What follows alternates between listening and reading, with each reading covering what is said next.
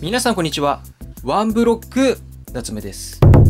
今回ですね、よくデッキで使うカード、その足りないものをね、今回シングルで買いましたんで、せっかくなんで動画にしていこうかなと思います。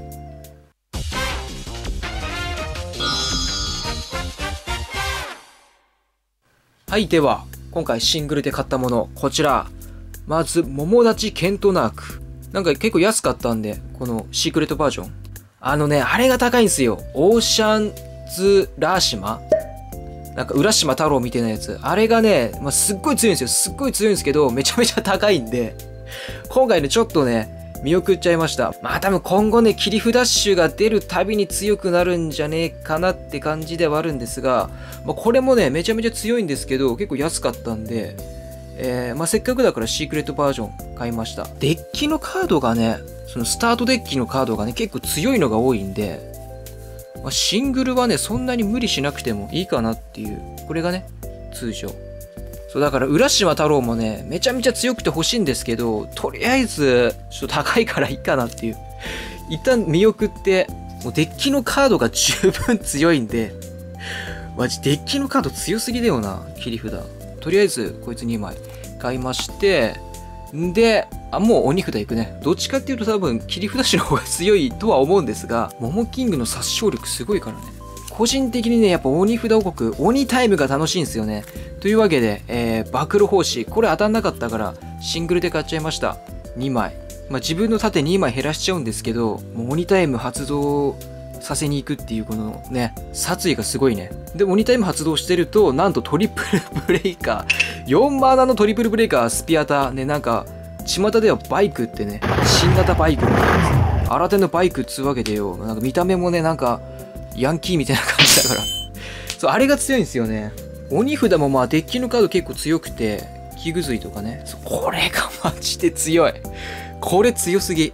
鬼札王国とか関係なくこいつが強い。3ターン目器具髄で、で、アタック、で、相手、自分の盾減らすから44でしょで、8枚。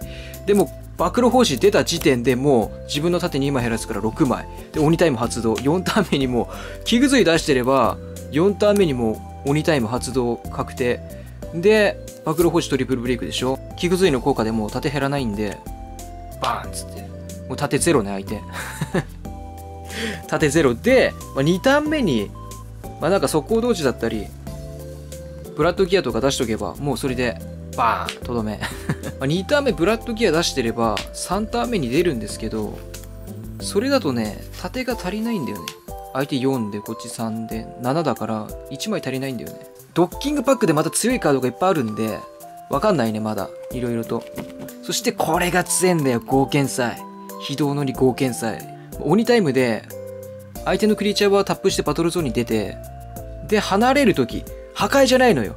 離れるときに、手札捨てると生き残るっていう。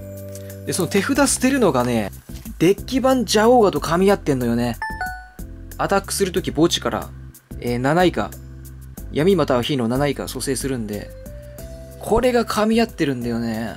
デッキ版ジャオが強いんだよ。まあ、パック版はもう、リセット能力あって強いんですけど、で、流星カイザーはスピードアタックを与えるっていう能力もあるけど、まあ、なんか銃王編ね、やたらとスピアタ持ちが多いんで、自分でスピアタ持ってるやつが多いんで、別にその効果いらないっていうね。これが強いのよ。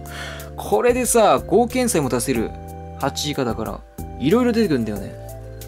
強え。で、ジャオーガ以外は出せるね。これ。強いんですよね。自分でもワンセット当てたんですけど、ドーンこちら、ジャオーガのシークレットパック。まあなんかセットでも結構安かったんで、切り札がめちゃめちゃ高いんですよね。切り札のシークレットがめちゃめちゃ高くて、ほとんど浦島のせいなんですけど、浦島が高いから、セットで買うとめっちゃ高いんですけど、鬼札が結構安いんですよね。で、あと不思議がね、あのーイラストアドで、ベラドワーネちゃんが人気なんで、不思議もちょっと高いね。鬼札が一番安い。でもかっこいいけどな、ジャオーガーシークレットバージョン。で、まあ正直この辺ちょっと使わないんですけど、まあ速攻道じゃ使うね。速攻道じゃいい。で、これですよ。貢献祭。なんかシングルで買っても、このセットで買ってもあんまり変わんなかったんで、せっかくだからセットで買いました。で、まあちょっとこれまあま使わないかなっていう。この3枚使いますね。うん。合剣祭。まあシークレット2枚と、通常版もね、1枚パックで当てたんで、22になりました。んで、こっから不思議。まあ、この前1枚当たったんで、えー、追加で2枚。これで4枚ね、ライマドリード。で、まあ、そんな超強いってわけじゃないんですけど、個人的に好きなんでちょっと安かったから買っときました。ビバラドランジュ。全部マイナス4000だから、まあ、環境によっては使えるんじゃねえかなっていうことで、まあ、安かったんでね、追加で。やっぱね、俺、プロモに目がないんですよね。っていうことで、えなんか大会出るともらえる？プロモパックで、なんとアンダーケインが入ってるんですよね。アンダーケイン自体がね、不思議王国で組まなくても、アンダーケイン自体がめっちゃ強いということで、まあ何枚あってもいいかなっていうわけで、えー、4枚。で、このなんか全部4枚ずつ買いました。あれ？速攻同時もね、なんとプロモがあるんですよね。だからこの、えー、シークレットバージョン、これ2枚あるから、2枚ずつ使おうかなと思って。まあ、こんな感じ、プロモね。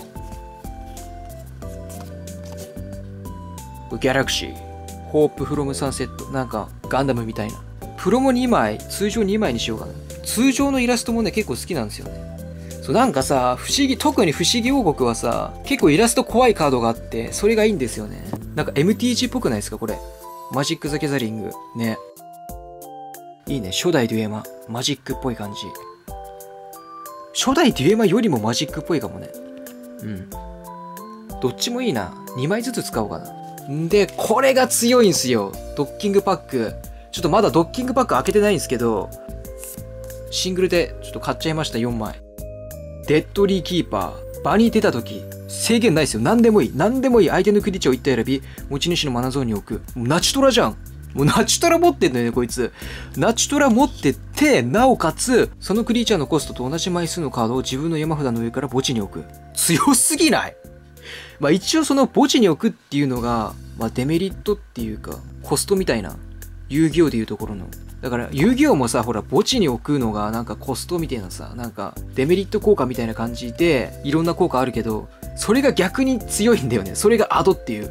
墓地アド。遊戯王はさ、墓地も手札っていうくらいだから。で、今、不思議バースですよ。ね。不思議王国のドッキングパックにこれ入ってるんだもん。もう相性バッチシよね。超強くない？で、ビーストフォーク好き。昔の種族。ビーストフォークいいよね。で、イラスト見て。コープラー。もうエボルトさんなんだよね。もうこれ俺得すぎるのよ。めちゃめちゃ素晴らしい。これイラストもね、で、緑、この色合いもいいよね。で、個人的に好きなカード。ドンこちら、ナチュラルスコーピオン。これ、滅びさんね。えー、コーブラー、ね、エボルトさん。スターク様。ステンスコーピオン。これなんと、 WINNERがね、あるんですよね。さっきも言ったけど、俺、プロモには目がないんで、 WINNERなんてかっこよすぎて、これ、見逃しちゃおけねっつうわけで、買っちゃいました。2枚。ナチュラスコーピオン好きなんですよね。強いよね、これ。切り札種目立ってるし、いいですよね。あの、デッキにさ、なんだっけ、ナチュラルジャイアントみたいなやついるじゃん。あ、トラップジャイアントか。そう、あれもいるんですけど、ガチンコジャッジはあっちの方が強いけどね。で、まあ自分のクリーチャーもくれるんで、まあなんか色々と使い方良さそうだなっていうことで、買ってみました。という感じでした。では、やっとデッキ組めるわ。この動画撮るまでね、デッキ完成しないんで、ちょっと生配信もできなかったんですけど、やっとこれでデッキ組めるわ。というわけで、まあいろいろとやっていきたいと思いますんで。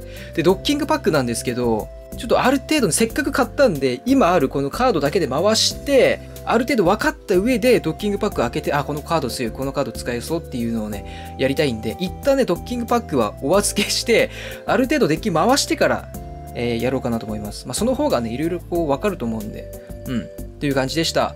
あ、そうそう、あとね、スリーブ、不思議バース、不思議王国で使うスリーブ、買いました。こちら。不思議バース、代打バースっていうわけで それが言いたいだけ。そのネタのためだけにね、買いました。で、オーバースリーブがね、この前買ったこれがすごい良くて、エンボス加工。マットよりもね、エンボスの方がいいんですよ。マットはやっぱ曇っちゃうんで、これね、エンボスって言って、まあ、マットとちょっと違うんですけど、まあ、あれですよ、あの、ウルトラプロのザラザラスリーブみたいな感じですごいいいんですよね肌触り。で透明感も良くてカードも見やすい。っていうわけでちょっといろいろ探したんですけどやっぱ俺ねスリーブこだわっちゃうんですよね。昔から。すごい進化してるじゃんと思って。当時こういうのあればなっていうのがね今出てるんですよね。もうワクワクするね。そういうのも楽しいね。たまんないね。というわけでちょっとオーバースリーブはこれを使っていこうと思います。マジで最高これ。では、ご視聴ありがとうございました。ぜひチャンネル登録と高評価、そして、えーま生配信の方ね、ディスコードの方もよろしくお願いいたします。それでは、さよなら。